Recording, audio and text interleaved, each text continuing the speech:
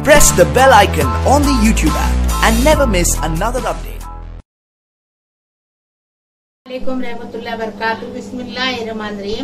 आज हम कंतोले की भाजी बना रहे वो करेले का भाई बोलते लेकिन महँगा मिलता है। महँगा मिलता है तरकारी। हर कोई नहीं खाता, लेकिन जो नहीं खाता, उसने खाने का। दवा के लिए बहुत अच्छी रहती ये देखो, इसको कंतोला बोलते हैं। देखे, इसकी भाजी हमने ऐसी काट के लिए, करेली की तरह। और ये करवी ज़्यादा नहीं रहती, करेला बहुत करवा रहता है, ये इतनी करवी नहीं रहती है। ये इतनी पाव किलो भाजी है हमने पाव किलो लिए हैं। ये कोथमीर है, पाँच कांदे को चॉप किए हैं, चार मिर्ची को ऐसा चीर के लिए दो चम्मच तेल डालेंगे। ये आधा चम्मच हल्दी है, आधा चम्मच धनिया है कुटा बुना धनिया है, कश्मीरी लाल मिर्ची पाउडर, आधा चम्मच है, आधा चम्मच राय है, आधा चम्मच जीरा है, और ये नमक स्वाद अनुसार फटाफट बनती है, जल्दी बनती है, अच्छी लगती दो चम्मच हमने तेल डाले। और तेल गरम हो गया। ये देखो अभी ये राय जीरा डालेंगे एक साथ। अभी तरतर तरतर हो गया राय जीरा। ये मिर्ची और ये प्याज डालेंगे। प्याज ज़्यादा डालेंगे ना तो करवा नहीं लगेगा। ऐसा तो करेली की तरह करवा नहीं रहता है, मामूली सा करवा रहता है। अभी इसके अंदर हम नमक डालेंगे तो प्याज जल्दी से लाल हो जाएगा। नमक स्वाद अनुसार डालेंगे हाँ।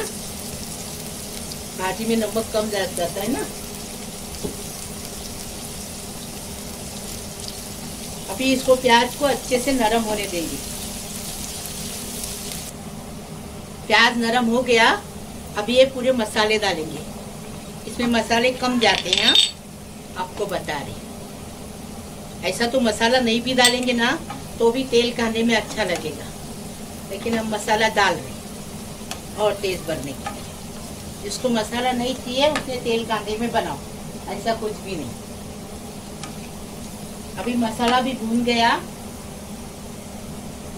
अभी हम ये ये डालेंगे, तरकारी। तरकारी बोलते भाजी बोलते अभी ये कंतोले हमने डाल दिए। अभी इसको मिक्स करेंगे। मसाले सब हो गए। अभी इसको धीमी आँच पे पकने तक रखेंगे और बारीक रखेंगे। ढक्कन रख के, ये देखो। ढक्कन रख के स्लो गैस पे हम अभी रखेंगे इसको। दो मिनट फिर बताएँगे आप ये देखो। अभी ये देखो बारीक आँच पे पक गया, अभी ये खोपरा डालेंगे। और नारियल भी डाल सकते हैं, सूखा खोपरा भी डाल सकते हैं। हमारे पास सूखा खोपरा था, हमने सूखा खोपरा डाले, अभी इसको मिक्स करेंगे। मिक्स करेंगे और एक मिनट पका के उतार देंगे। खोपरा डालेंगे, हर तरकारी में खोपरा डालेंगे ना अच्छा लगता है। कोकनी लोग तरकारी में खोपरा डालते हैं, ऐसा खिसा हुआ।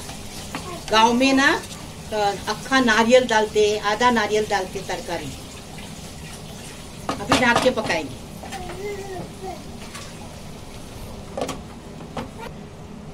ये देखो, अभी हो गया फ़र्स्ट क्लास अभी हम इसको सब करके बता रही ऐसा बनाओ हमारे तरीके से। ये भाजी बहुत टेस्टी भी रहती है और दवा की भी रहती है और हर कोई खा सकता है, ये करवा नहीं लगता है। थोड़ा सा मामूली सा। बाकी करेले की तरह करवा नहीं है, लेकिन बहुत टेस्टी लगता है, महँगी मिलती है।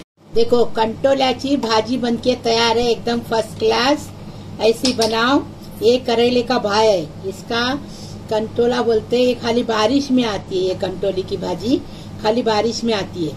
लेकिन बहुत टेस्टी लगती है, इतनी कड़वी नहीं लगती करेली की तरह। लेकिन अच्छी लगती टेस्टी लगती है। ऐसी बनाओ हमारे तरीके से लाइक करो शेयर करो सब्सक्राइब करो प्लीज़